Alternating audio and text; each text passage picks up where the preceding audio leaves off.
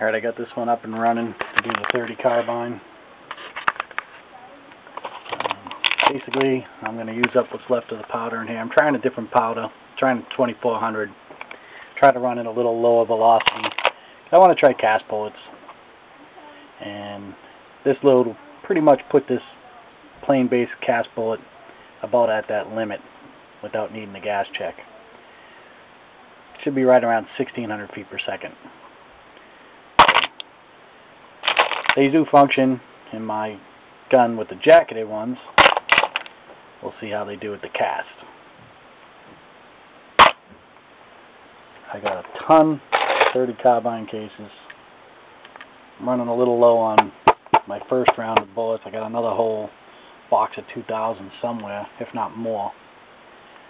But, uh, so far, it's been working fine. I'm just going to run this one.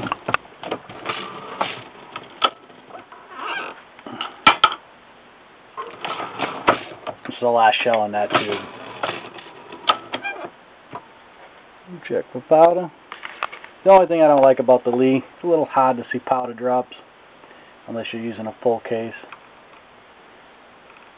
See the bullet.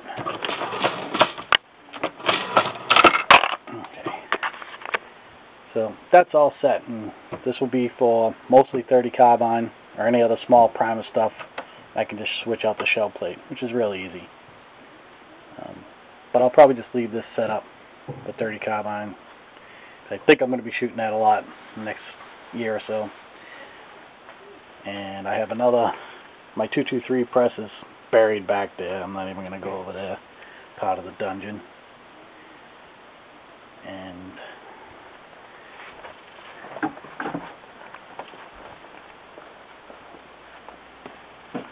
this will be the next project.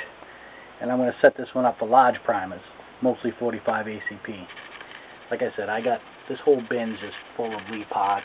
I got an extra carrier. Um, I believe Pasteur made this for me. I'm going to give it a go for the um, 357 if it fits through there, or the 38. I don't know if it'll fit. Or I might just swap it out back onto the 223 press. For some reason I took it off. I don't know why, I don't remember but I did. So I got a couple extra of these. Like to find some more real cheap. Lee has just about everything you need to rebuild these, and a lot of the pots are free. Especially the small plastic parts. Their shipping isn't unreasonable. They charge you, I think, four bucks for just about everything. Um, Last order I got from them, I think the whole shipping was 11 bucks.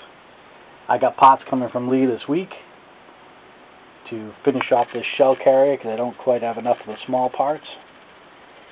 And I needed the indexing rod for this one.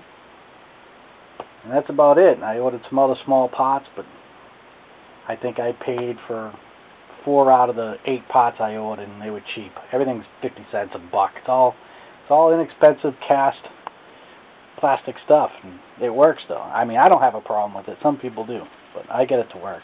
Only thing I know I'm missing that I didn't order was a Z-bar for the case feed, which I'm going to get. So I got this press for nothing with a box of pots and a few uh, different dies old timer just gave it to me. He's cleaning out his garage and said, here, I know you shoot. Put it to use. So I did. And the press the 30 carbine was free. And very minimal rebuild on that. I think the only thing I had to get for that was the little shell holder wire and uh, rebuild the, the plastic gears, which I have a boatload of them because I usually come with any press. Like here's a little rebuild kit.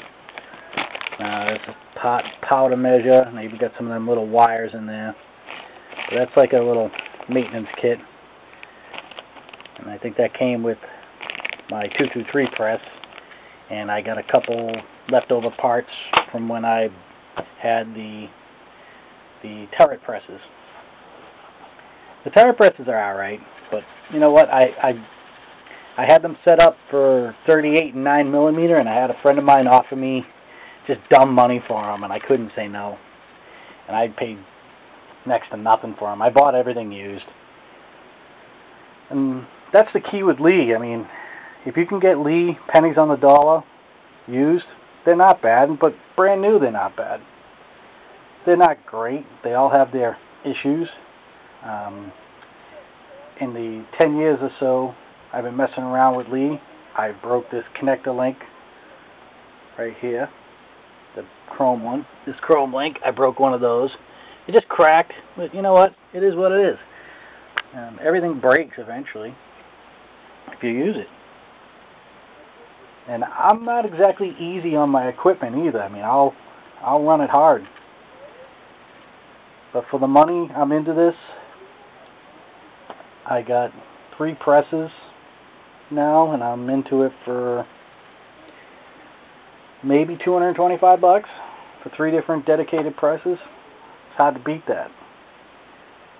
Um, I gotta find my other powder measure. I got one of the Lee auto discs kicking around somewhere. Here's all the different plates for it. I'll set that up on the 45 press because it it worked good last time I loaded 45.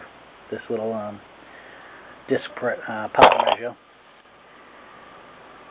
I uh, did that on the 223. I converted to 45.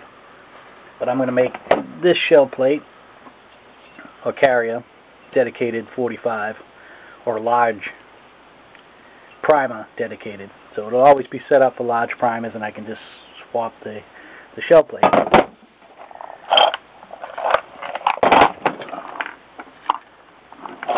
But I can't find that powder measure yet because I got too many bins full of stuff to look in. But that's that. So I'll be uh, reloading quite a bit over the next week or two. Uh, I was hoping the weather will warm up a little. I was going to make some more alloy, cast some more bullets. That's next. That's going to be my large primer, basically 45 ACP press for now. And we'll get it up and running.